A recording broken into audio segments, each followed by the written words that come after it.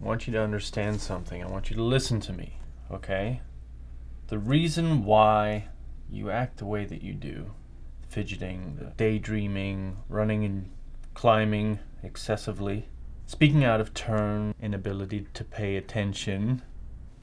You with me? That's a symptom right there. That's on the list. You have ADHD. You have a brain dysfunction. You are chemically imbalanced. You are mentally ill.